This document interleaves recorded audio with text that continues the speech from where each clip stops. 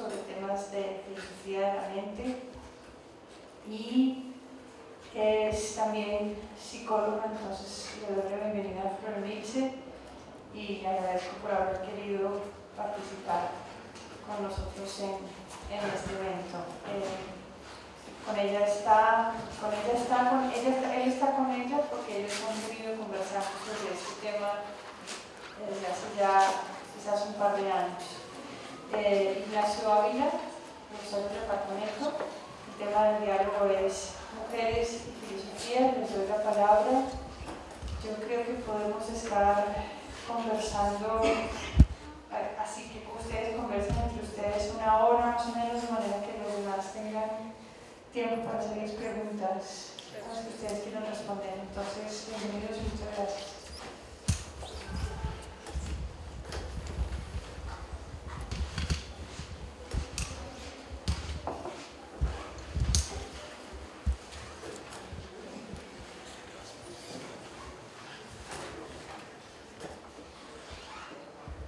Bueno, buenas tardes. Este,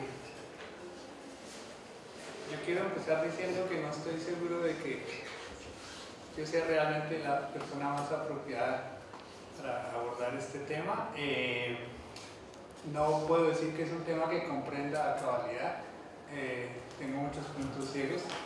Eh, y, y, lo que he aprendido, en parte lo he aprendido de las mujeres, que creo que en ese sentido tiene una perspectiva epistemológicamente hablando al menos más privilegiada. Entonces lo he aprendido, bien porque he charlado con muchas de ellas que han sido muy pacientes conmigo, eh, bien pues por algo de literatura que he leído eh, sobre este asunto.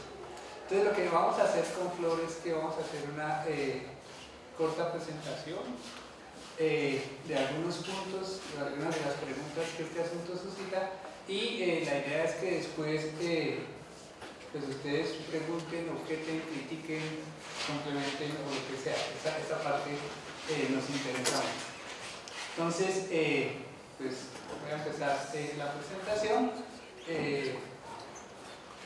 yo quiero empezar con algunas cifras que, que no están necesariamente muy actualizadas, pero creo que son dicientes.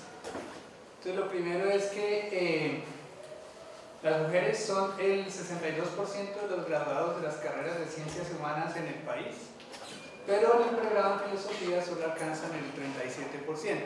Estas cifras son tomadas del Observatorio Nacional sobre Educación, o algo así, no me acuerdo el nombre exacto, y eh, son del periodo, eh, no me acuerdo tampoco el nombre, de los años exactos, qué pena, era casi como 2004-2016 eh, entonces es posible que haya un poquito de desactualización en eso. Pero entonces, eh, si uno mira la tasa de graduados eh, de todas las carreras en todo el país, las mujeres son más o menos el 54%, se gradúan más mujeres que hombres a nivel de pregrado en todas las carreras del país. 2010, 2016, primera corrección. entonces, el caso es que en ciencias humanas, las mujeres son el 62% de los graduados de las carreras de ciencias humanas mientras que en pregrado filosofía solo alcanzan el 37, esa es una cifra. No, perdona, hay un error. Eh, ah, no, sí, sí, sí, está bien. En el posgrado, las mujeres son en ciencias humanas el 55% de las graduadas, mientras que en filosofía son el 30% eh, de las graduadas. Hubo ya una disminución con respecto al pregrado. Y a nivel de doctorado, las mujeres solo alcanzan el 24% de graduados en filosofía. Eh, entonces, como se ve, hay una disparidad numérica eh, que va creciendo a medida que se va avanzando en la trayectoria académica. Eh, las profesoras universitarias de filosofía en los departamentos del país son alrededor del 25%, es decir, una cada cuatro eh, profesores. Este dato es tomado profesoras que tienen una plaza fija. Y en la Sociedad Colombiana de Filosofía las mujeres solo alcanzan el 17%.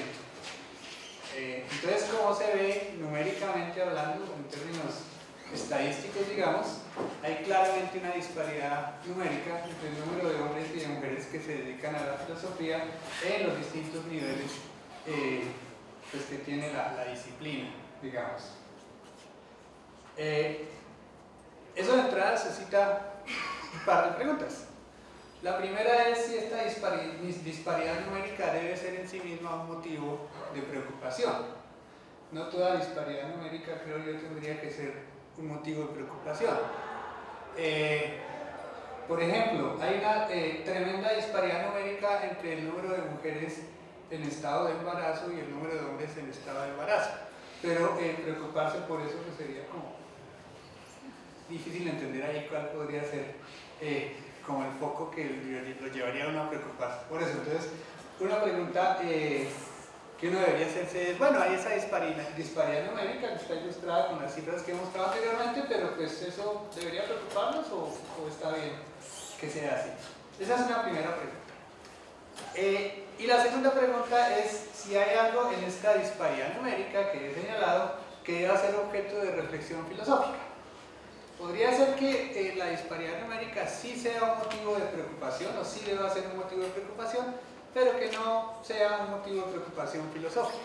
Uno podría pensar, por ejemplo, que es deseable que el número, que haya más equidad, al menos en términos numéricos, entre el número de mujeres y de hombres que se dedican a la filosofía, pero que ese es un problema que eh, no atañe a los filósofos, sino que es, por ejemplo, un problema del cual deberían preocuparse los sociólogos o los que diseñan las políticas públicas de educación, buscar maneras de que esa eh, disparidad pues eh, disminuya, pero es un problema que no atañe a, los filósofos o que no debe ser objeto de reflexión filosófica o que no es eh, muy interesante. Esa, esa podría ser una, una, posibilidad. Entonces, a mí me interesa pues, que queden esas dos preguntas por ahí eh, una razón que uno podría tener para pensar que esa disparidad no debe ser objeto de reflexión filosófica o no debería preocuparnos es algo que dice aquí Jennifer Soule Jennifer Sol dice lo siguiente, la, disparidad numérica entre hombres y mujeres en filosofía no muestra por sí misma que haya un problema que deba ser abordado por filósofos. Podría ser que a las mujeres simplemente no les gustan o no son buenas con los tipos de razonamiento en los que se involucran los filósofos o con los tipos de problemas que los filósofos discuten, bien sea como resultado de su naturaleza innata o bien como resultado de su socialización. Entonces eso podría ser una posibilidad eh, Jennifer Sol, por supuesto, no cree que esa sea la respuesta correcta y parte de esto está escrito en un texto en el que ella justamente busca mostrar que eh, la disparidad sí debería ser objeto eh, de reflexión filosófica. Sin embargo, es importante tener en cuenta que el asunto no es simplemente demográfico, o sea, no es una mera cuestión numérica de que hay más personas de un grupo social que de otro grupo social, sino que a veces aparecen eh, pues otros elementos en el problema. Por ejemplo, si uno le echa una mirada a este blog, What It Is Like to Be a Woman in Philosophy, uno va a encontrar un, un panorama bastante deprimente. Si uno eh, lee algo de ese, de ese, blog, se da cuenta de que allí hay muchas, eh, muchas mujeres cuentan testimonios acerca de prácticas sexistas, acoso sexual y una cantidad de pues, cosas que francamente eh, pues uno diría que no son correctas. Entonces, eh, ese es como un elemento que aparece y aquí hay una cita, eh, está incompleta en esa, en esa diapositiva, pero la vamos a leer completa, de Sally Haslanger. Sally Haslanger es una filósofa norteamericana que es muy importante en el ámbito de la filosofía analítica, filosofía política, filosofía, bueno, también metafísica, en fin. Ella, ella empieza un artículo sobre este tema con, esta, con, esta, con, este, con estas palabras. Dice, dice Sally Hatton, hay una rabia profunda dentro de mí, rabia acerca de cómo he sido tratada yo como persona en filosofía, rabia acerca de cómo otras que conozco han sido tratadas y rabia acerca de las condiciones que estoy segura que afectan a muchas mujeres y minorías en filosofía y que han causado que muchas, de otras, muchas otras la hayan dejado. La mayoría del tiempo suprimo esta rabia y la mantengo oculta. Hasta que llegué al MIT en 1998, tenía un diálogo constante conmigo sobre si abandonar la filosofía e incluso renunciar a la tenencia, a la tenencia de profesora, para hacer algo distinto. A pesar de mi profundo amor por la filosofía, simplemente no parecía que valiera la pena. Y yo soy una de las más afortunadas, una de las que ha sido exitosa según los estándares dominantes de la profesión. Sea lo que sea lo que digan los números sobre las mujeres y las minorías en filosofía, los números no cuentan la historia. Las cosas pueden estar mejorando en algunos contextos, pero están lejos de ser aceptables. Entonces, si uno eh, tiene en cuenta las cifras que les di al comienzo acerca de la disparidad numérica, con lo que, el tipo de historias que aparecen en el blog que les mencioné, o esta eh, expresión de molestia por parte de Sally Haslanger, uno empieza a pensar que el problema no es simplemente eh, demográfico y eso suscita más preguntas que quisiera que tuviéramos en cuenta, o que quisiera que queden como flotando en el ambiente. La primera es si hay discriminación hacia las mujeres en la filosofía académica. El, el hecho de que haya disparidad numérica y, que, y de que existan eh, el tipo de testimonios que he señalado no necesariamente indica que haya que hay discriminación hacia las mujeres en la filosofía académica. En realidad, para poder establecer eso necesitamos eh, pues, estudios empíricos, es una cuestión en buena parte eh, empírica, aunque uno podría creer que hay ciertos indicios o algo así, no sé. Pero entonces la primera pregunta es si hay eh, discriminación hacia las mujeres en la filosofía académica o no, o esto es simplemente dos factores que se están conjugando, pero que eh, es una mera coincidencia, digamos, los dos factores de la disparidad numérica y algunos testimonios pues desfavorables. la segunda pregunta es, en caso de que hubiera discriminación hacia las mujeres en la filosofía académica, ¿cuál sería la naturaleza de esa eh, discriminación? Si estaría anclada al tipo de trabajo que se realiza en la filosofía o se debería eh, a factores ajenos a la filosofía misma. Eh, es importante la pregunta acerca de cuál sería la naturaleza de la discriminación hacia las mujeres si es que la hubiera en la filosofía académica. Eh, uno tiende a pensar que la discriminación es algo que es muy explícito y que está anclado a las creencias explícitas de las personas.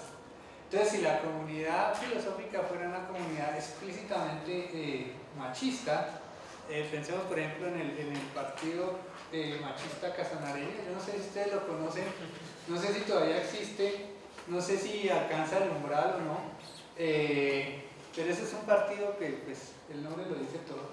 Eh, entonces, si muchos de los miembros de la comunidad filosófica estuvieran eh, inscritos al partido machista casanareño, pues tendría eh, sentido pensar que hay discriminación hacia las mujeres en la filosofía académica y esta discriminación sería una discriminación de carácter explícito. Sin embargo, no toda discriminación, o no todo tipo de discriminación es por sí mismo de carácter explícito. podría ocurrir que eh, la comunidad filosófica se caracterice por creencias que no son sexistas o machistas, al menos en, su gran mayoría, los miembros de la comunidad filosófica no sean machistas ni sexistas, y que aún así eh, haya tácitamente ciertas formas de, eh, discriminación. Entonces la pregunta por cuál es la naturaleza de esa discriminación, si es que la hay, es importante. Y la segunda pregunta, o pegada a esa, es si ese tipo de discriminación, si es que lo hubiera, tiene algo de filosófico en sí mismo, se debe o se debe a factores eh, ajenos a la filosofía misma. Por ejemplo, eh, la sociedad colombiana, yo creo que eso vale también para muchas sociedades contemporáneas, pues tiene eh, estructuras discriminatorias contra las mujeres, contra otros grupos sociales, y podría ser que esas estructuras discriminatorias pues permeen la filosofía, la filosofía no sea necesariamente eh, inmunidad a eso, pero que no haya, en ese sentido sería lamentar que, hubiera, que hubiese discriminación, pero no estaría atada a factores eh, propios del tipo de trabajo que se realiza en filosofía. Entonces esa es la segunda pregunta que quisiera plantear. La tercera pregunta es eh, si es que todo es sobre el supuesto de que puede haber discriminación hacia las mujeres. Si la hay, ¿cómo podríamos detectarla y eventualmente superarla?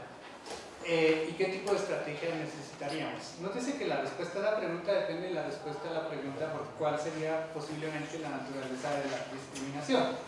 Si es tipo partido machista casanareño, pues el tipo de estrategia para superarla es distinto a si es eh, implícita. Si es implícita puede ser mucho más difícil. Eh, y la cuarta pregunta es qué tipo de consecuencias traería para las mujeres, para la filosofía y para la comunidad académica en general eh, que se presente, si es que se presenta, ese tipo, de pues, algún tipo de discriminación en la filosofía académica. Entonces, eh, por lo pronto simplemente quería señalar pues, unas cifras, eh, unos datos como la afirmación del pasaje de Stanley Hartlanger y algunas preguntas que me gustaría que ustedes estén pensando, a ver qué, qué se les ocurre. le voy a ceder la palabra eh, Flor. Sí, claro. ¿Me escucho? Eh, bueno, entonces eh, quisiera insistir, como lo mencionó Ignacio al comienzo, ¿se escucha por el micrófono?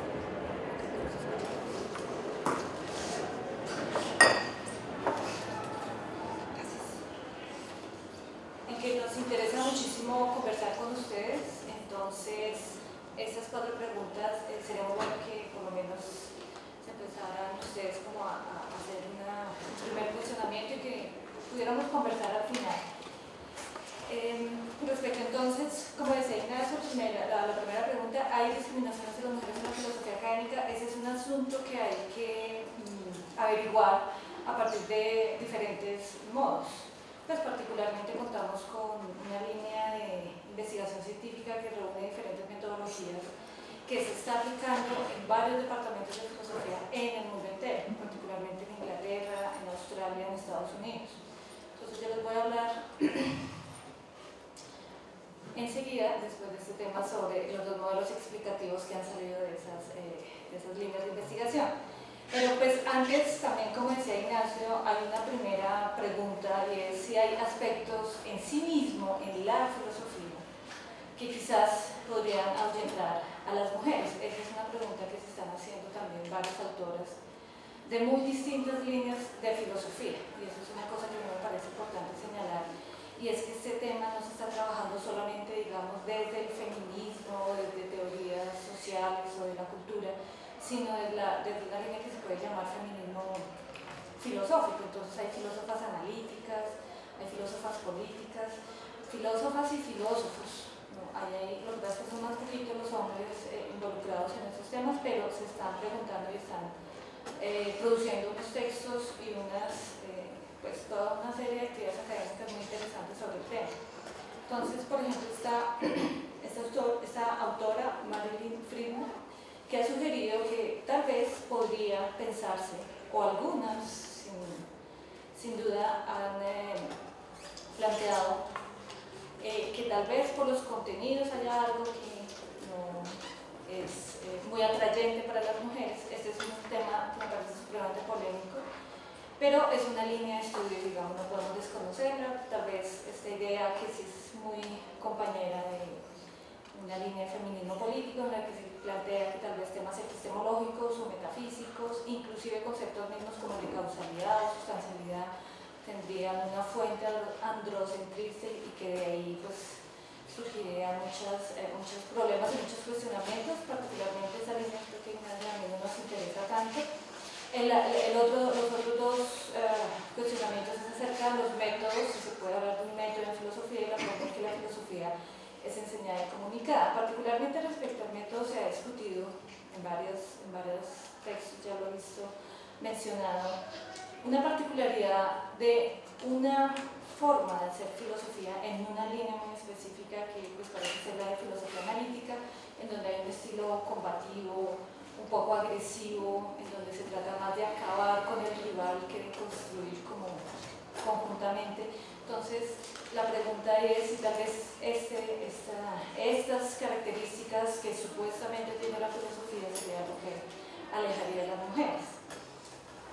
Con esto hay un problema eh, creo que es una vía muy, eh, que tiene muchos aspectos áridos que explorar porque nos compromete bien con una visión esencialista de la filosofía, pero también de las mujeres, porque entonces es como si, como las mujeres por esencia no somos agresivas, entonces de ahí que nos alejemos de esta manera de hacer filosofía, y ese, vuelvo a insistir, creo que no es el, el punto que nos interesa resaltar acá. El que nos interesa resaltar acá tiene más que ver con estos modelos explicativos, eh, son dos fenómenos psicológicos que se han estudiado ampliamente en diferentes áreas, particularmente el primero, eh, eh, uno, de los que hace parte de la tormenta perfecta, que es el de los sesgos implícitos, se ha estudiado mucho en el tema de discriminación racial. En Estados Unidos este tema de sesgos implícitos está siendo utilizado para explicar muchos de estos fenómenos de discriminación racial, pero pues también otros tipos de discriminación. Pero en general los dos modelos explicativos entonces que tenemos acá, eh, estos los, propone eh, la autora Luis Anthony y explora primero el de la voz diferente justamente para ver cómo sus problemas y de ahí proponer el segundo, el de la tormenta perfecta. Entonces el, modelo de la voz diferente plantea que la filosofía tal como es practicada refleja una perspectiva distintivamente masculina, algo que ya estaba señalando yo ahora. En esa medida, las, las, mujeres, hay que tener en cuenta entonces que las mujeres hablamos con una voz diferente, de ahí el nombre del modelo, y lo que analiza Anthony es que lo que está presuponiendo este modelo de manera equivocada, según ella, según nosotros, es que comparten por las mujeres compartimos por alguna razón y los hombres también, por supuesto, algunas propiedades intrínsecas. Entonces, intrínsecamente los hombres tienden a ser agresivos en la alimentación y las mujeres intrínsecamente tendemos a ser conciliadoras. Aquí hay varios problemas que ahora va a señalar con más eh, detención, con más, eh, despacio Ignacio, pero simplemente quiero dejar anunciado que claramente esa idea de propiedades intrínsecas de hombres y mujeres y también de aquello que supuestamente caracterizaría a la filosofía, pues tiene problemas. Por los problemas de este modelo, entonces la autora propone un modelo que ella llama el modelo de la tormenta perfecta.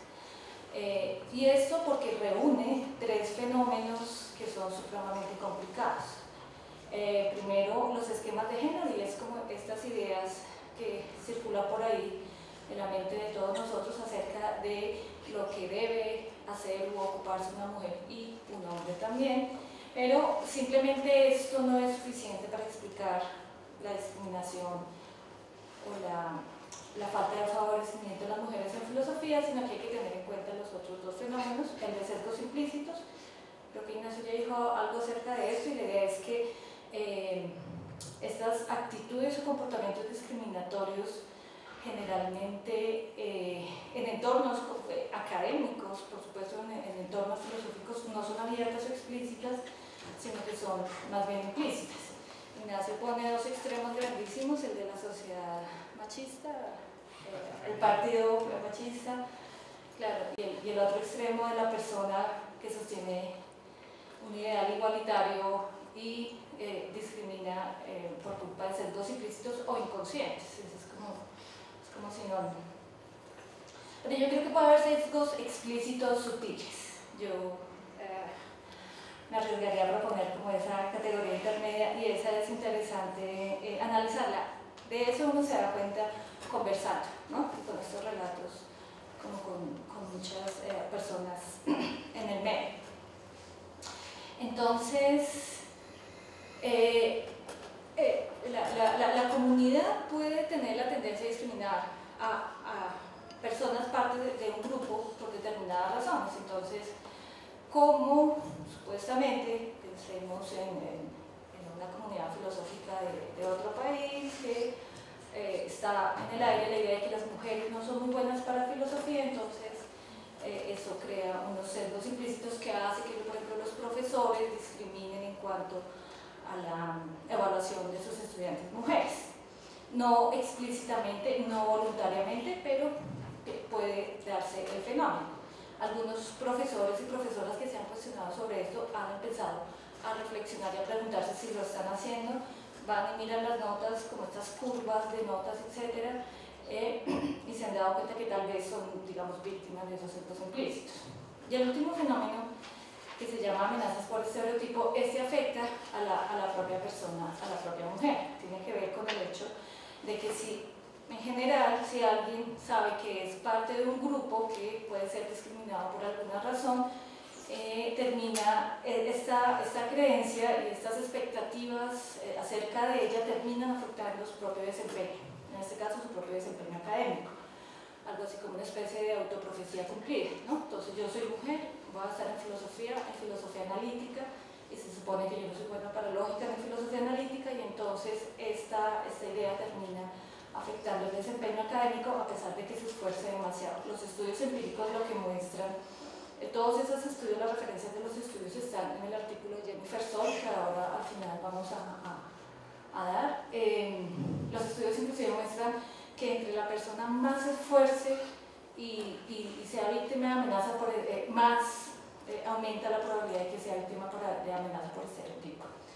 La amenaza por estereotipo también puede aumentar los niveles de ansiedad, que hace que alguien en una conferencia o en una postulación para un cargo esté muy nerviosa y pues arruine su, su desempeño, justamente por esa idea de que se espera no, no, cosas no muy buenas acerca de ella. Esto se ha investigado, por ejemplo, en el caso también de raza, de, de cómo un estudiante de raza negra que presenta un examen de esos parecidos al, al ICFES en Estados Unidos, en un salón lleno de gente blanca, pues también va a sufrir un poco por esta, por esta razón, por esta idea eh, de, eh, se va a ser afectado por las, el fenómeno de amenazas por estereotipo. Entonces lo que dice Anthony es que en filosofía puede ser que estos tres eh, fenómenos se junten y no simplemente de cualquier manera, sino que hay una confluencia que puede involucrar convergencia, interacción e inclusive intensificación. Ella nos dice, esto sí que es un punto polémico, pero quiero volverlos a invitar a que, eh, que nos digan si están de acuerdo o no.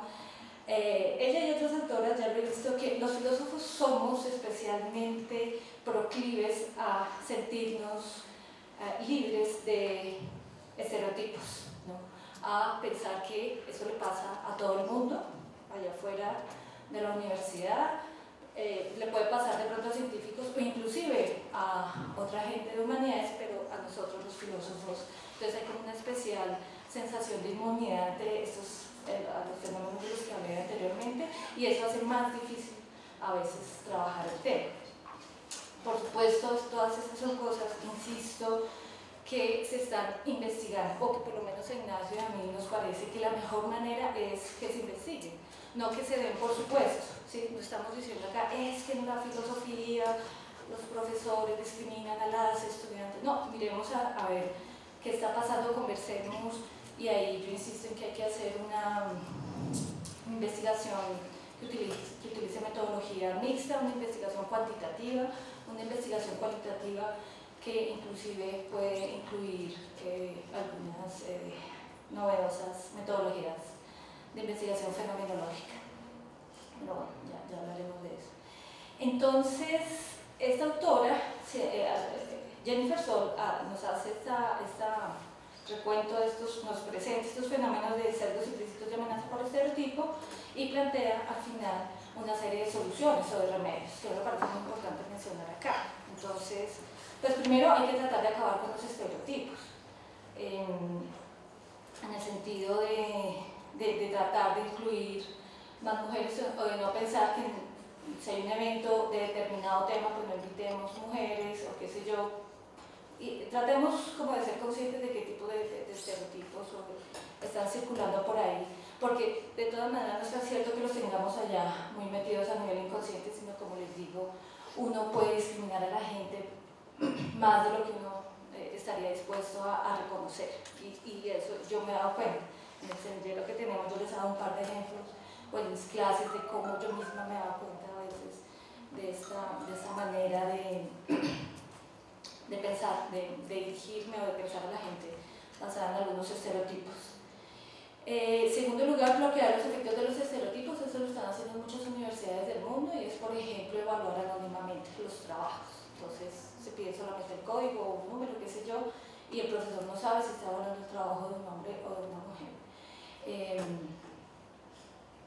Eh, también en relación con las hojas de vida, eso es más complicado, pero entiendo que también lo, lo, hacen a veces, solicitar hojas de vida sin el nombre. Es más difícil por los artículos y todo esto, pero la idea es que sea una evaluación en donde no. Con esto se bloquea el efecto del estereotipo. ¿sí? Claro, estas son medidas muy prácticas y en último término como que no van a cambiar pues la dinámica que, de la manera que algunos quisieran, pero sí garantizan que se esté haciendo evaluaciones justas, que es algo a lo que la filosofía, como muchas disciplinas académicas, o todas las disciplinas académicas, pues queremos.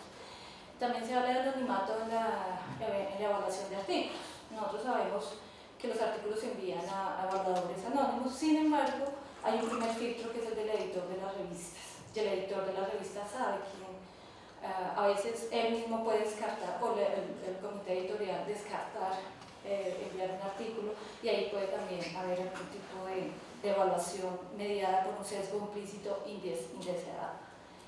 Eh, alterar patrones de pensamiento, eso me parece muy importante en general, en la educación en general. Una de las cosas interesantes que, hemos, que yo he podido ver en el semillero eh, y en un curso que estoy dictando en la Universidad del Bosque, es que mis estudiantes hombres dicen, profe, esto, esto me ha afectado a mí también, ¿no? esta, esta manera este rasgo particular de la filosofía a mí me ha afectado desde el comienzo cuando entré a estudiar filosofía. Entonces cuando habla Jennifer Sol de, de alterar estos patrones se refiere un poco a esta, a esta indeseada clasificación que puede uno hacer como profesor o ustedes como compañeros de este espiro, este es como lento, esta se esfuerza pero no lo logra, ¿sí? Eh, yo creo que, como comunidad tenemos que trabajar mucho en esas formas de hablar, en esas formas de clasificar y de catalogar, porque eso va marcando como unos estilos ahí que inciden en la manera en que, nos tratamos unos a otros y pueden incidir en el desempeño académico. Crear situaciones que reduzcan la amenaza por estereotipo. Eh, entonces es muy importante uh, informar sobre este fenómeno, informar que la amenaza por estereotipo puede incrementar la ansiedad en alguien cuando está haciendo, cuando tiene que hacer una evaluación, un examen, una presentación y de esta manera pues eh, asegurarse que con esta conciencia de, que existe este fenómeno tal vez se pueda manejar un poco. Pero hay que tener mucho cuidado en que y eso lo, lo señala Jennifer Sol de las investigaciones, ser consciente del fenómeno por sí mismo no lo elimina, porque pareciera muy, muy, muy sencillo, pero no es así. También habla de sensibilización perdón, eh, y de aumentar la conciencia. Entonces, eh, la idea de que dentro de la comunidad académica los filósofos eh, hagan un posible reconocimiento, una, una pregunta sobre si circularán por ahí muchos sesgos implícitos y también yo creo que hay que circular la información completa eh, en el sentido de que sesgos implícitos no implican una culpabilidad. ¿Hasta qué punto entonces alguien es responsable por unos sesgos que tiene pero que no sabe que tiene y que le determinan actitudes y conductas? Hay un texto maravilloso de, Miranda Fricker que se llama, que, en el que trabaja esto de centros implícitos y responsabilidad sistémica y entonces ella propone trabajar este tema a partir del concepto de responsabilidad sin culpa de, de Bernard Williams. Entonces no se trata de culpabilizar a la gente porque de pronto estuvo orientada en su acción y toma decisiones por conceptos implícitos, pero de todas maneras sí se trata de tomar algún tipo de responsabilidad. Jennifer Sol dice no son responsables, nadie es responsable por los sesgos implícitos que tiene, pero una vez que lo averigua y tal vez se da cuenta de que sí los ha tenido, ahí sí que es responsable por hacer algo, no se puede quedar simplemente con la idea, porque es algo que está sucediendo. Hay otro artículo muy crítico sobre este tema de sesgos implícitos, particularmente la principal herramienta de investigación, que es un test que se simplificó ya como demasiado, eh, porque lo que está sucediendo, más que todo con el tema de discriminación racial, es que la gente queda un poco conforme y inclusive le sirve para justificar, ¿no? Como al fin y al cabo yo hice el test y claro, ah, yo soy más racista de lo que creía, pues se sienten un poco ya más bien justificados en su, en su acción. Em, y finalmente entonces está experimentar estrategias y nos habla de experiencias concretas en diferentes universidades en Estados Unidos y en Inglaterra. Entonces, como profesor de lógica, introdujo el tema de sesgos implícitos dentro de uno de los temas de clase, cómo eh, se puede dar esta información, los directores director de programa dio la información a todos los profesores del programa, etcétera, etcétera. Em, bueno, básicamente el tema pasa mucho por plantear el, tema y tratar de invitar pues, como la reflexión y que la comunidad se, se, interese por el mismo. De todas maneras, entonces, estos dos modelos tienen algunos problemas. Eh, no son son, son, son eso, son modelos explicativos surgidos de líneas de investigación empírica o experimental.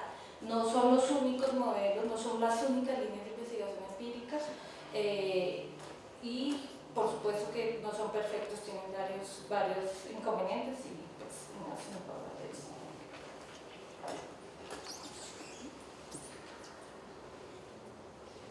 Bueno, eh, una cosa sobre la que quisiera hacer énfasis es que este, estos dos modelos eh, asumen hasta cierto punto que el tipo de, que si hubiese discriminación contra las mujeres en, en, el ámbito de la academia filosófica sería un tipo de discriminación implícita. Entonces no aplican para departamentos de filosofía donde la gente esté vinculada al partido casanarello eh, y en ese sentido creo, creo que los, los, modelos son filosóficamente interesantes, porque si alguno de ellos fuera correcto, podría ocurrir que una comunidad filosófica cuyas condiciones en general sean igualitarias, aún así esté ah, joder. permitiendo que se puede por debajo de cuerda, digamos, ciertas prácticas eh, discriminatorias. En el caso del modelo la voz diferente, por ejemplo, podría ocurrir que haya un una comunidad filosófica donde la mayoría sean hombres, un poco lo que pasa en este departamento. Supongamos que todas las personas allí comparten creencias igualitarias. Sin embargo, si la voz entre de, hombres y mujeres es filosóficamente hablando diferente y el contexto es tal que la mayoría son hombres, entonces la voz femenina pues va quedando como se considera que no es como la que da en el punto, digamos, pero eso no necesariamente requiere ninguna creencia explícita acerca de que las mujeres no sirven para hacer filosofía o algo así podría pasar desapercibido ese fenómeno. Lo mismo con el caso de los sesgos eh, implícitos. Los sesgos implícitos son implícitos, entonces eh, uno no se da cuenta de eso muy fácilmente. De hecho, supuestamente se descubren por investigación empírica. Hay otra cosa también que es importante y es que los sesgos implícitos no son patrimonio eh, del género masculino, sino que conciernen a toda la humanidad. En principio, todos los seres humanos somos vulnerables a sesgos implícitos y supongo que es muy difícil encontrar alguno que no tenga un sesgo implícito en algo. Entonces, eh, eh, si esto fuera una explicación correcta, pues de nuevo, eh, sería una situación que pasa de alguna manera inadvertida por rasgos de la naturaleza humana. Sin embargo, como les digo, son modelos que tienen algunas dificultades. Voy a señalar rápidamente algunas de ellas. El modelo de la voz diferente, esto es Anthony señala esto, eh, tiene algunas dificultades empíricas. Es decir, cuando, se, cuando se, empieza a hacer una investigación con ese modelo, hay unas cosas que no cuadran. Hay un, texto famoso de Stitchy, Stephen Stitchy Walter, creo que es que se llama, el, el Walter que hicieron como muchos experimentos mirando las intuiciones filosóficas de los hombres y las mujeres con respecto a ciertos experimentos mentales que son como muy importantes en, filosofía ahora y encontraron eh, supuestamente algunas diferencias. Eh, sin embargo, Anthony señala primero que esas diferencias son muy poco significativas. Segundo, que muchas veces las que son como las intuiciones que serían como aceptables en el mainstream filosófico son más las que tienen las mujeres que las que tienen los hombres. Y tercero, eh, las intuiciones de hombres y mujeres en áreas eh, como filosofía de la mente o epistemología son muy similares, y, mientras que en áreas como la ética y la filosofía política son divergentes, y sin embargo el área donde más hay mujeres es en filosofía política y en ética. Entonces ahí hay como una cosa que no cuadra, y es que eh, si la voz diferente fuera una voz que está siendo tácitamente excluida, pues tendría que ser que la diferencia de las intuiciones se marca más en donde hay menos mujeres, que serían metafísica o cosas así, o en epistemología, y no en ética o en filosofía política. y pasa lo contrario. Entonces esas son como cosas que no cuadran bien con el modelo. Anthony señala también que hablar de una voz diferente puede ser un arma de doble filo, en el sentido de que se puede usar también para, si bien ese no es el propósito de Stitch ni nada por el estilo, se podría usar para, para propósitos conservadores y sexistas. De hecho, muchos de, los, muchos de los filósofos del pasado que han hablado displicentemente eh, de la capacidad de las mujeres para hacer filosofía, pues han apelado a, una versión del modelo de la voz diferente. Es que dicen que pues, por naturaleza no, no sirven para eso. Entonces es una, una, un arma de doble Sin embargo, hay un problema adicional que me preocupa a mí y es el alcance de la idea misma de voz. Me parece que el modelo de la voz diferente requiere que el concepto de voz esté claramente eh, acotado. Eh, y sin embargo eso no lo veo claro. qué? ¿Qué es lo que hace que... ¿Por qué podemos pensar que todas las mujeres tienen una voz similar si las mujeres entre ellas son muy distintas? Eh, ser mujer no es lo único que define la categoría social de una persona. También está la clase social, la raza, ¿sí? Y lo mismo con los hombres.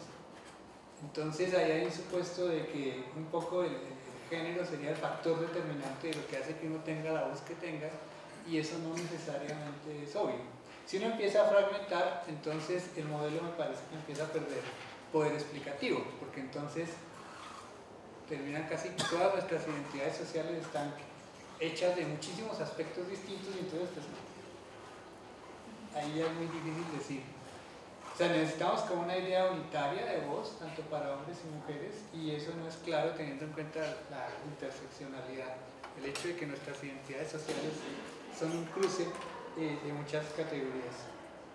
Y el otro problema que veo yo con ese modelo es el alcance de la, generación, de la generalización sobre la naturaleza misma de la filosofía.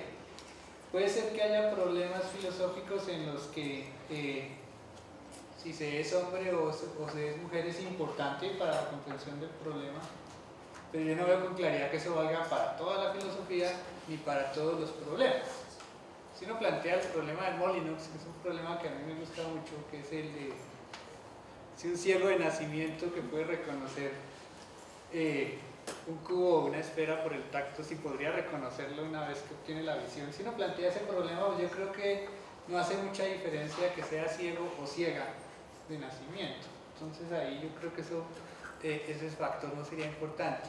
Pero si uno se plantea, no sé, discusiones acerca de si la pornografía debe ser o no aceptada en una sociedad liberal, pues ahí sí claramente el factor de género puede ser clave. O, no sé, está la crítica famosa de Marta Nussbaum al liberalismo de Rawls, a partir de que ignora ciertas dimensiones de la vida social que conciernen particularmente a las mujeres. Entonces me parece que el, el, el modelo necesitaría un argumento muy fuerte que yo no veo para decir que es que como que toda la filosofía es androcéntrica o algo así. Eh, yo no sé si es que soy muy de mentalidad muy clásica, siglo XIX, pero a mí eso no me parece obvio para nada. Entonces me parece que sin tener clara cuál es la, idea misma de voz y sin saber hasta dónde va la generalización, el modelo de la voz diferente pues tiene ahí una dificultad de tipo teórico. Eh, el modelo de la, de la, de la tormenta perfecta también tiene algunas dificultades, algunas de las mencionó Flor.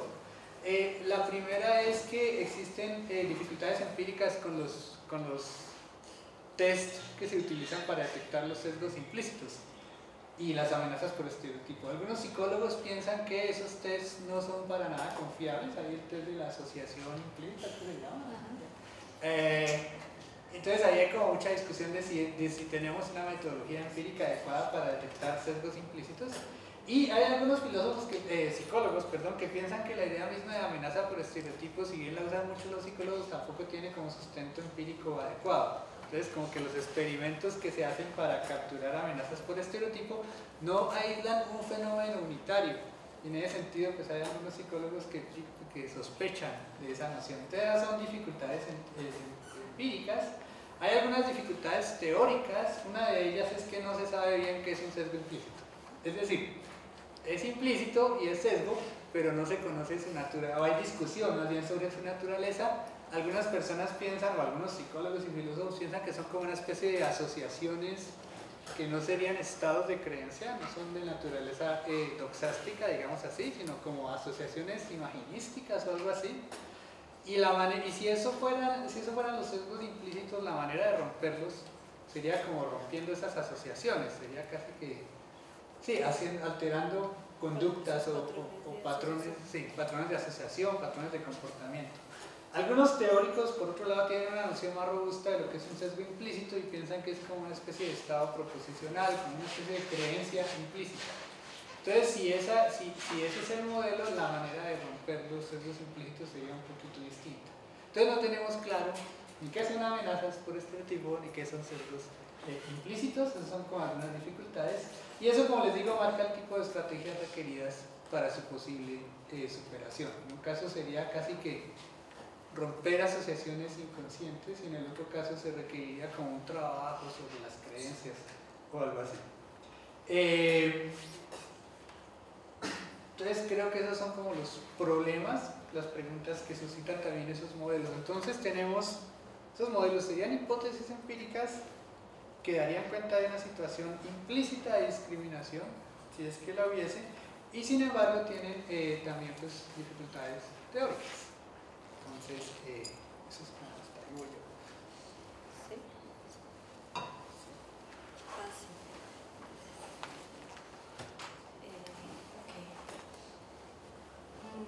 Mm, yo tengo la sensación leyendo este tema eh,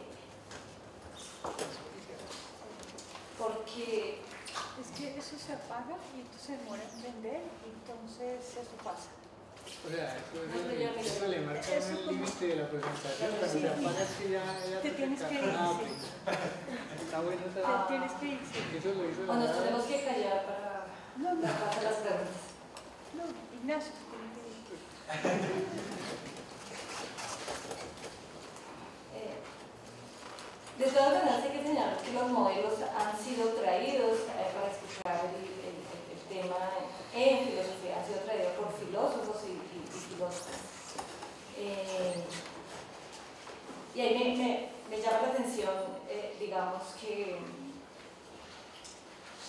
es interesante la estrategia en el sentido de, es muy difícil, como decía Ignacio, plantear generalizaciones acerca de la naturaleza de la filosofía o acerca de en qué consiste ser filósofo.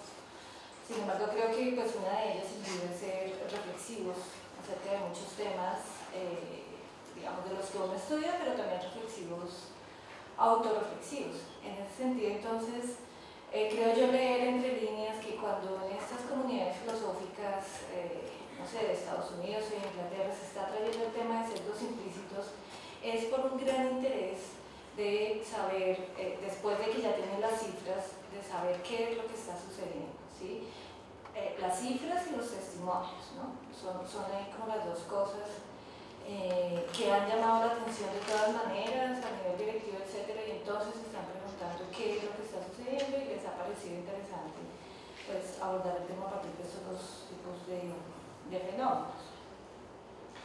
Eh, pero más allá de esas investigaciones y estos modelos explicativos, pues también hay todo un trabajo en una línea muy interesante que se puede llamar como feminismo epistemológico, cuya principal representante, podría decir yo, es, es Lanton, y ella nos sugiere o trabaja eh, las formas de exclusión de las mujeres del conocimiento en general. Entonces ella nos plantea varias de estas formas de exclusión como objetos del conocimiento. Esto hace referencia, por ejemplo, a ciertos capítulos de la historia de la ciencia en los cuales, por ejemplo, la medicina es claramente reconocido dentro de la comunidad investigación solamente con hombres cuando, por ejemplo, en, el tema, en temas cardíacos. Es clarísimo que, la, que mucha de la línea investigación y de terapia se basaba en el modelo del cuerpo masculino.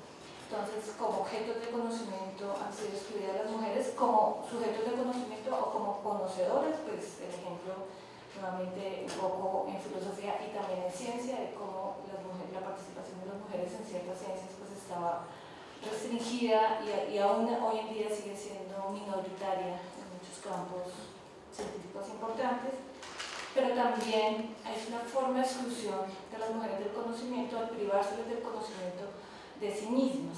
lo que llama Lanto la falta de autoridad subjetiva. Entonces, esto es una manera interesante, particularmente yo estoy trabajando, de asociar con el tema de, de, de la de los otros fenómenos como de amenaza por estereotipo y es que de alguna manera eh, puede suceder y decimos también que eh, dice Lanton, lo, lo, lo, explica así en este punto, puede que la mujer sepa pero no sabe que sabe o no tiene la seguridad de que lo sabe y eso afecta su desempeño eh, en los cursos, en las tesis, en los escritos, etcétera, etcétera.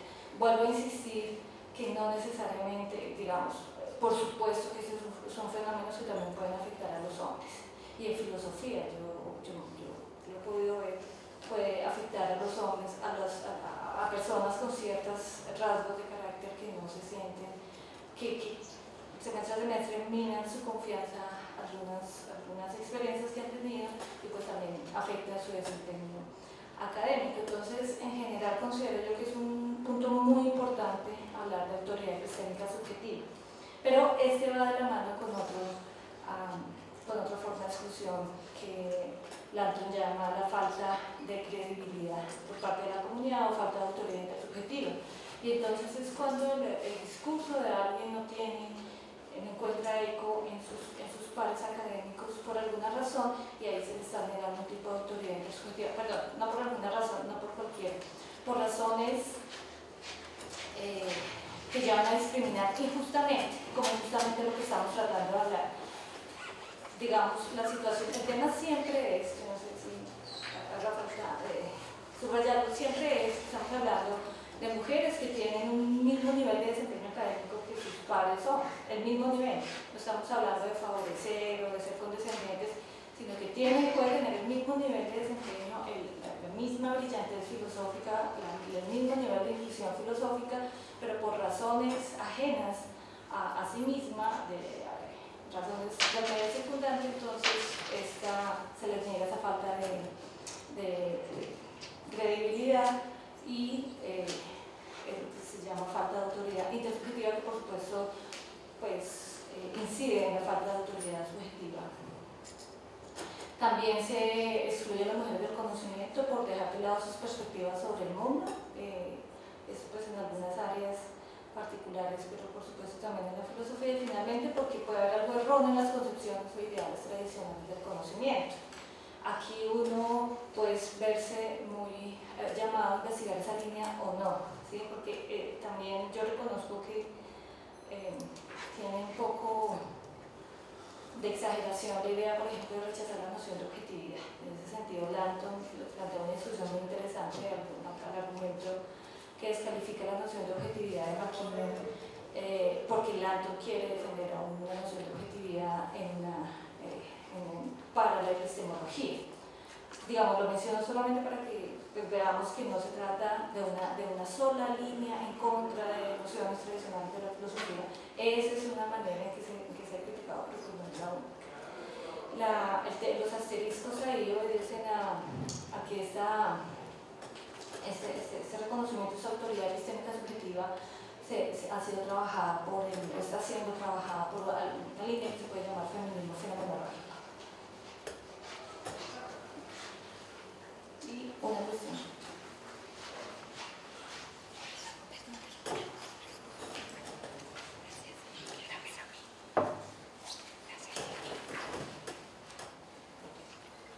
Bueno, eh, quiero terminar simplemente con dos citas.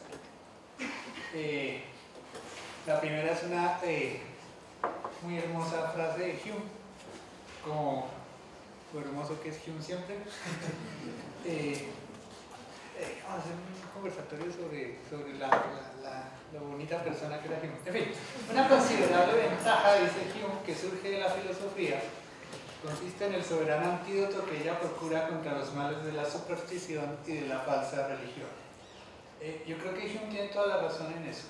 O sea, la filosofía eh, sí ayuda a, como antídoto contra los males de la superstición y de la falsa religión. Y de hecho yo creo que la filosofía ayuda muchísimo a desvanecer prejuicios, a aclarar confusiones, a mostrar eh, falacias y todo ese tipo de cosas, es algo en lo que eh, creo. Eh, y yo creo que los filósofos o las personas que nos dedicamos a este oficio ingrato tendemos a, a, pensar eso. y en ese sentido, nos, una, una, parte de la autoimagen que tenemos, al menos en ciertos momentos, en los momentos filosóficos, que es la risa, es, es, es, es como que somos especialmente sensibles a los prejuicios y estamos en ese sentido bastante libres de ellos. Eh, entonces, como les digo, yo creo que hay un punto de Hume ahí que es muy importante. Eh, yo quería comparar esa cita con esta otra. La idea de sesgo que parece prevalecer entre los filósofos es la idea tradicional, en la que hay algunas personas racistas y sexistas que sostienen, que sostienen explícitamente creencias sesgadas. Por ejemplo, las mujeres no son buenas razonando y están aquellas personas que sostienen explícitamente creencias igualitarias y no necesitan preocuparse acerca de estar sesgadas. En cuanto esta idea prevalezca, el sesgo implícito no puede convertirse de las maneras en que se necesita, porque las personas creerán que sus creencias igualitarias genuinamente sostenidas significa que ellas no están sesgadas. Entonces, si uno mezcla eh, las dos citas, eh, un poco el riesgo que, que hay es que por sentirse libre de los males de la superstición y la, mala religión, y la, falsa religión, eh, termine pensando que no tiene nada por qué preocuparse, dado que sus creencias igualitarias genuinamente sostenidas significan que no hay sesgo alguno en la naturaleza de, uno. Entonces, me parece que si uno está en esa situación, pues hay un problema filosófico que es muy interesante, es un problema que tiene que ver al menos con eh, la estructura misma de nuestra vida cognitiva. Creo que al menos hasta el siglo XIX, a los filósofos les interesaba. Eh, yo creo que con eso podemos cerrar. Eh, aquí ponemos algunas referencias. Eh, y aquí ponemos una cuña publicitaria. Es un semillero que está coordinando Flor sobre este asunto. Flor y Ana María. No sé si sí, quieren decir algo. No, pues nada, ya les llegó la invitación por correo un par de veces, estamos trabajando textos, todos esos textos los estamos trabajando, entonces muy bienvenidos todos. Eh, no importa que ya hayamos empezado, nos escriben por favor y les enviamos la lectura y, y los esperamos. Voy a dejar, bueno, voy a dejar un ratito los correos y bueno, pues... Eh, ¿Quieren ustedes mismos coordinar la discusión o quieren yo la modelo? Uh, ¿Quién? Pues tú, sí.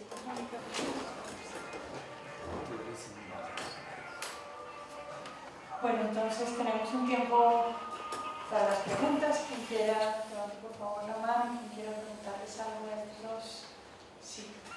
Me, me llama mucho la atención que se, se hizo referencia en indirecta en muchos casos a los casos de discriminación explícita a lo largo de la historia de la filosofía, que son incontables, ¿no? Pues las referencias eh, sexistas o discriminatorias hacia las mujeres de Nietzsche, Schopenhauer, Sócrates, ¿no?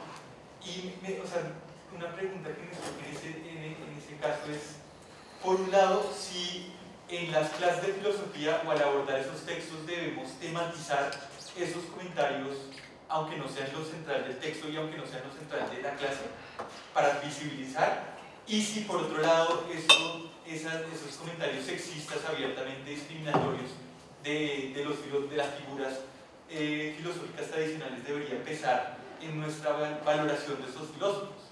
¿sí? O sea, si, si de alguna forma eh, debería eh, afectar nuestra valoración de la obra de Nietzsche saber que era una persona muy sexista con unas, pues, unos sesgos implícitos muy violentos contra las mujeres.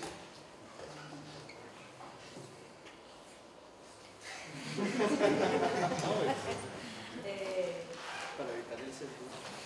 Este tema se, me parece, eh, digamos, complicado, pero está, digamos, desde Aristóteles, Kant, ¿no?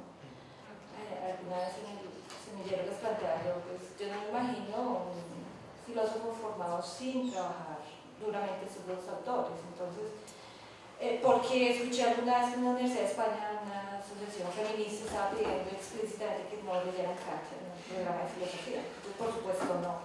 ¿sí? Eh, bueno, repito, no me, no, Eh, yo creo que valdría la pena introducir el tema, eh, si el tema del curso lo merita, si es un seminario sobre Kant, sobre autonomía y de pronto la persona, el profesor mismo ha trabajado con esas críticas al concepto de autonomía, mencionó Papo Ignacio, y entonces, bueno, miremos, entonces ahí cómo sería el tema con Kant. Eh, en, un, en, un, compendio de feminismo filosófico hay un capítulo sobre historia de la filosofía ahí la autora hace mención a Hannah Arendt, de cómo Hannah Arendt como coge la, la manito a Kant y lo trae para explicar ciertos fenómenos del presente, entonces es un poco conversar con esos autores del pasado, venga, si Kant. ¿Qué, qué, qué idea Kant si, si le hacemos ver, o Aristóteles, ¿no? Si le hacemos ver que tal vez eso que, que pronunció contra inclusive algunas de sus propias ideas éticas. Yo creo que sí merece la atención, pero no en cualquier, sí, no en cualquier clase o, que sea como un, una cláusula de que vamos a ver Kant, pero primero le discutimos su, su, pronunciamiento, si el tema lo, amerita. Bueno, yo creo que estoy de acuerdo con, con lo que dice Flor. Eh, los, los filósofos los grandes filósofos del pasado y los profesores chiquitos de filosofía no somos ángeles. Eh, eso, creo que es importante tenerlo en cuenta. Y muchas veces la, persona misma no está a la altura de su filosofía. Eh, y yo creo que entonces eso puede causar decepción. Entonces, ¿cómo alguien tan grande y tan buen filósofo como no sé quién al mismo tiempo tenía, al mismo tiempo tenía como esos puntos, digamos, esos puntos ciegos? ¿sí? o no tan ciegos. ¿Cómo puede ser eso? Como alguien, no sé, a Domet le perturba mucho eso con Frege. ¿Cómo Frege, que es como el modelo de racionalidad, era un antisemita tremendo? ¿Cómo, cómo diablos encaja? Sí, la persona tiene como fracturas, eh, pero yo creo que eso no, esa, esa, sugerencia de las feministas españolas, por ejemplo, yo no, no, estaría de acuerdo. Hay, hay un texto muy bonito de, de Lanton sobre una correspondencia que tuvo Kant con una señora que se llamaba María von Herbert, que le hizo unas preguntas muy buenas a Kant. Eh, entonces ahí ella, ella Lanto muestra, eh, primero que Kant, Kant, el Kant, hombre, el ser humano no está tan a la altura de su filosofía, ¿eh? en un punto se le fueron las luces. Pero por otra parte, Lanton hace algo muy bonito y es que a muchas feministas Kant les parece un tipo horroroso.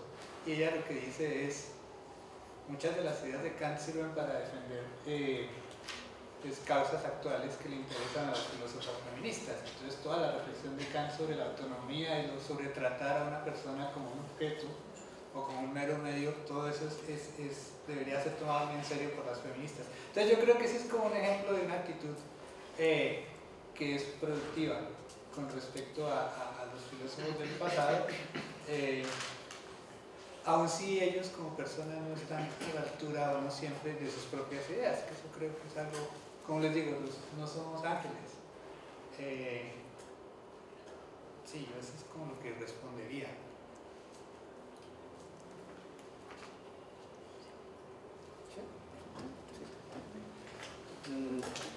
La pregunta es para Flor, más que una pregunta es como pedirte, a lo largo de tu exposición hablas de, de estaba la distinción entre los sesgos implícitos y los sesgos explícitos y hablaste de, sex, de sesgos explícitos sutiles. Y digamos, la pregunta concreta sería, una vez desarrollada la idea, ¿por qué es importante, digamos, qué aportaría esta noción a la comprensión del problema general de los sesgos en, en materia de filosofía? Bueno, quiero aclarar que no es una noción tan trabajada como la por los sesgos implícitos, pero lo que yo quiero señalar es que eh, irnos como a los dos extremos de o, no, yo no soy un miembro del partido machista. Eh, Casanareño. Casanareño. Eh, yo no soy miembro del partido machista casanareño. Eh, y es posible que yo sea víctima de sesgos implícitos. Entonces, pues yo salgo de esta conferencia y sigo mi vida tranquilo, ¿sí? Digamos, hay un, hay, un, hay un sentido en el que el tema de sesgos implícitos puede dejar a la persona muy, eh, muy, muy, muy tranquila y sin preguntarse por sus, sus actuaciones en la esfera que esté, donde sea, no sé, a nivel de liderazgo, de política o de, o de academia. Em, entonces, por eso eh, yo pienso que no es tan difícil.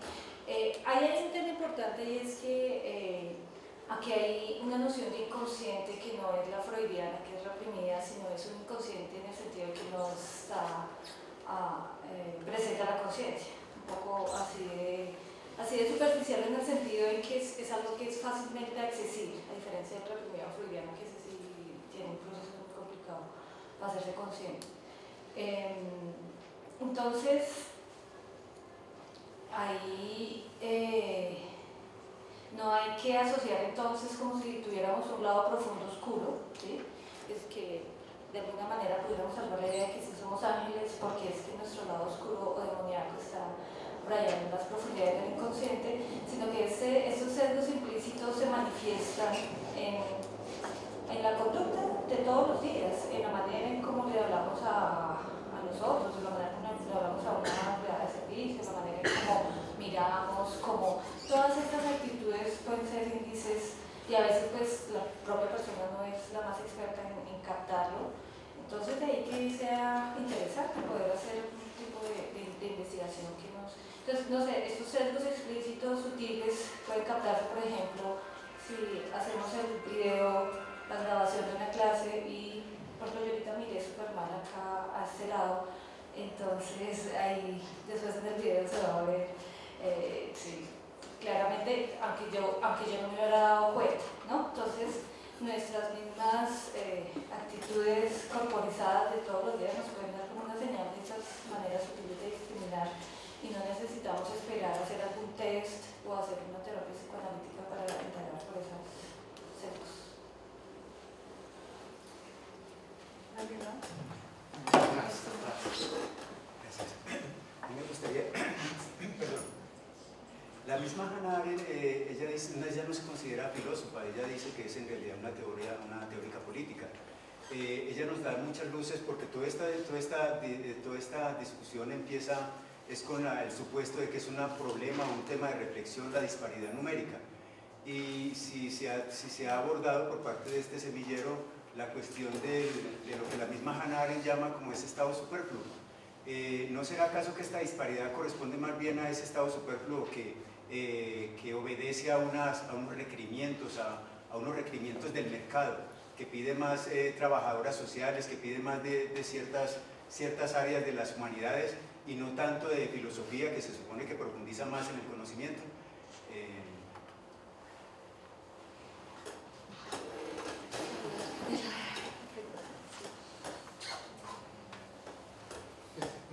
sé bien cómo, cómo responder. Eh,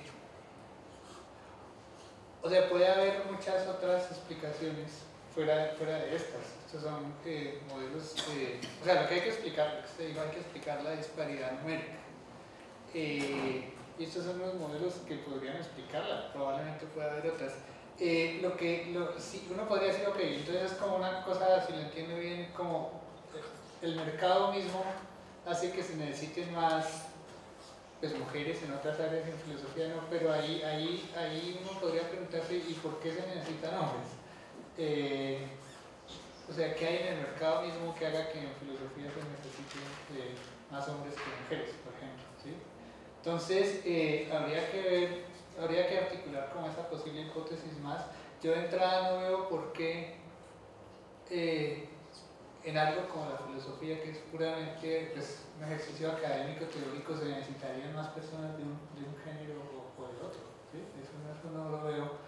Eh, no sé, si fuera otra cosa, no sé, alguna otra profesión donde haya algo en la naturaleza de los hombres o los grupos de las mujeres que haga que se necesiten más, no sé. No sé, por ejemplo, los taxistas hay más hombres que mujeres, eso es una demanda del mercado. No sé, puede ser también que es muy inseguro para las mujeres. No sé. Eh, pero en este caso se me parece que se necesitaría como una, una razón adicional para pensar qué hay en el mercado que, que, hiciera que pasara eso. Incluso, y podría ser que no sea incompatible con alguno de estos modelos. Podría ser, por ejemplo, que el mercado esté llevado por unos estereotipos de voz diferente, o, ¿sí? que hace pues que socialmente eh, pase eso. el, el, estereotipo de filósofo es un poco de estereotipo de, de un hombre. A uno le dicen un filósofo y uno se imagina, o yo, no sé las nuevas generaciones, hace unos años yo me imaginaba un señor de barba y gafas. Entonces, pues gafas he tenido siempre y me dejo una barba que no me sale lo suficientemente convincente. Pero, pues, pero entonces puede ser que ese tipo de estereotipos que son muy sociales estén, estén permeando. Podrían estar vinculados a, a cuestiones de mercado.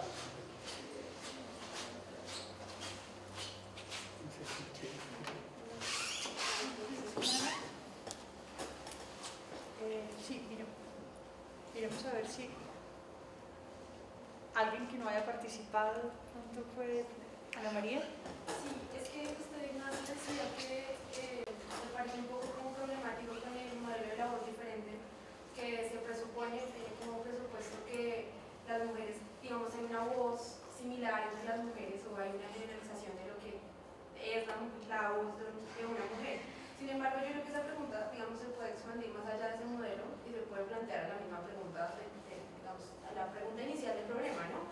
Porque, digamos, cuando decimos que, bueno, si hay alguna exclusión discriminación de las mujeres en la filosofía o en la academia, estamos presuponiendo de alguna manera que es una mujer y hay como un presupuesto. Entonces yo me pregunto si, si para hacer, digamos, para examinar bien el problema o darle una respuesta, tenemos que resolver primero digamos, o definir primero qué es una mujer y si necesariamente entonces tendremos que acudir como algo intrínseco que nos caracteriza, porque por ejemplo alguien podría decir, ¿no? digamos, las mujeres son este conjunto de características, pero entonces decimos, no, pero esas características también las puede tener un hombre. Entonces estaríamos diciendo que el problema debería plantear de alguna manera como por qué ciertas características no, digamos, no son tan fáciles de acomodarse a la filosofía académica como se está practicando hoy en día.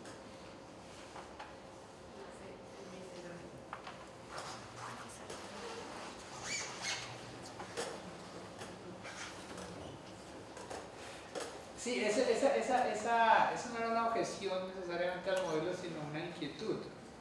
Eh, eso es, un, es una, de las críticas que, hacen, que le hacen a, las feministas de los 60 más o menos, las feministas posteriores, es cuando estaban pensando en, en, en las mujeres, en realidad estaban pensando en, en, la mujer francesa de clase media universitaria. ¿sí? Y entonces se objeta que la mujer francesa de clase media universitaria no se parece, o se parece muy poco a la mujer, no sé, africana del Congo, ¿sí? Eh, y entonces eso lleva a que la idea misma de como una voz eh, unitaria de todas las mujeres se empiece a, a, desvanecer, y lo mismo con, con, con, la voz masculina, ¿sí? Entonces yo lo que, lo que quería señalar es como esa perplejidad, y es que puede haber el, el, una comunidad filosófica puede ser tremendamente heterogénea, no es simplemente hombres y mujeres, sino hay ricos y pobres, blancos y negros, ¿sí? Eh, de provincia y de, y de la capital, eh, de colegio sí, distrital público y privado. Entonces todas esas cosas pueden estar, están jugando roles. Y si es así, entonces eh, ¿qué nos permitiría pensar que lo que prima como voz distinta es el hecho de ser mujer y no, por ejemplo, el hecho de ser de cierta clase social? Entonces, si, si empieza como a moverse todo eso, pues ya eh, me parece que la, la, tanto la voz masculina como la voz femenina se empieza a fragmentar, porque ya no tenemos razón para, para, pensar, por, o, o, no más razón para pensar que, por ejemplo, dos hombres, uno de clase alta y otro de clase baja, tienen una voz compartida, ¿sí? No, no, no, es claro. Y entonces en ese sentido se empieza a perder como poder explicativo. Esa es como la, la, la idea. Es una dificultad. No, de pronto uno podría decir, no, hay, hay rasgos, hay, hay, momentos o hay problemas filosóficos en los cuales, por ejemplo, el hecho de ser mujer es, es fundamental y prima sobre el, otras clasificaciones sociales o otros grupos sociales a los que pueda per, pertenecer esa misma mujer. Pero si es así, entonces yo digo, eso habría que mirarlo pues problema por problema, filosóficamente hablando.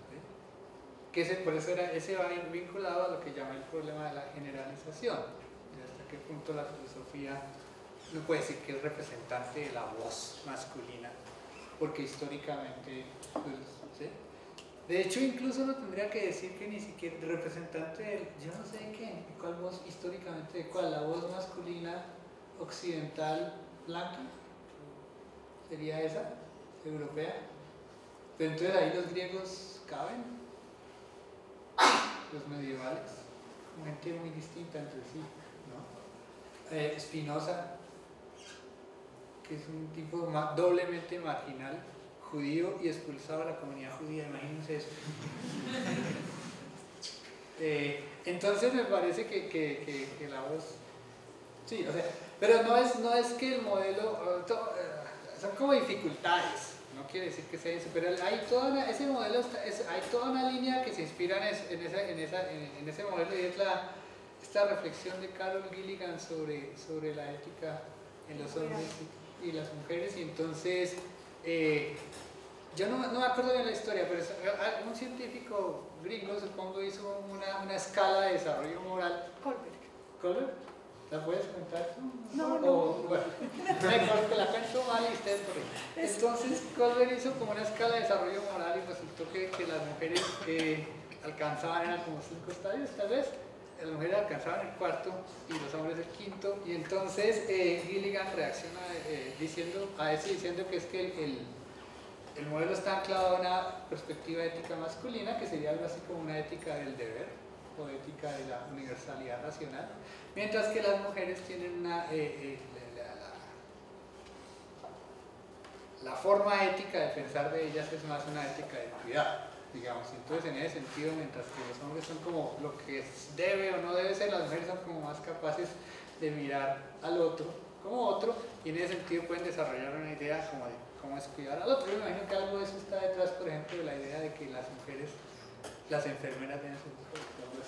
Eh, y entonces ahí hay dos, como dos voces distintas en ética. Y entonces hay toda una línea de estudios, por ejemplo, de lo que es la ética del cuidado. Eh, sin embargo, la propia Gilligan después reconoce que empíricamente ese modelo tiene muchos problemas porque hicieron muchos estudios. Y entonces una cosa, por ejemplo, es cómo debemos de entender las que serían las propiedades intrínsecas de las mujeres. Es que esencialmente son así, o que han sido educadas, la segunda naturaleza aristotélica, socializadas así, de pronto ni lo uno ni lo otro. Entonces ahí me parece que uno cae también como en riesgo de, por ejemplo, de pensar, las mujeres, los hombres son agresivos, las mujeres no. No sé si eso es tan así. Eh, bueno, me imagino que me puede salir con mucha evidencia en contra, pero eh,